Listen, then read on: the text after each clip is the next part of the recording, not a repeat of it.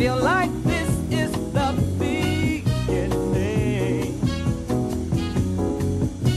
Though I've loved you